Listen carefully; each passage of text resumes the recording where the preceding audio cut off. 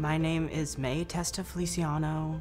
My pronouns are she, her. What first brought me to GFP was wanting to find a sense of community when I first came out as a trans woman. My name is Sonjie Feliciano Solomon. My pronouns are she and her. Being at the Gender and Family Project and my mom and my dad coming, it's definitely opened up my world and their world because when I first came out, all of us really knew very little. I was scared they were worried because as my parents, they only wanted what was best for me. I think coming to the Gender and Family Project for support um, was so valuable because we realized we weren't alone. Being at GFP has given me the words and helped me find my voice uh, to be like completely open and out and vulnerable. When you try to protect your child by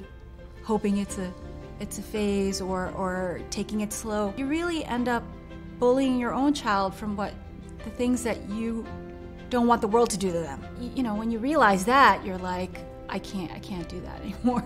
Prior to coming to the Gender and Family Project, the way I thought about myself was almost entirely negative.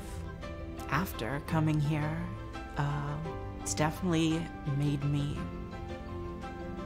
very confident in myself. I think what we've gained uh, as a family is our child is happier, our child is part of a community. Finally, being able to discover my voice has led me to really be able to advocate for myself and for the community. I look at my child now and I don't I don't see a gender anymore. I just see a human being who deserves to be happy.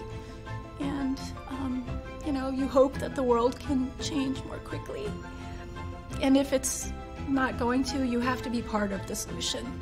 This whole journey is not just one person, it takes a village. I'm lucky enough that GFP has given me a village. Another set of parents um, had said to us, You don't understand this now, but this is a gift. This whole experience is going to be a gift.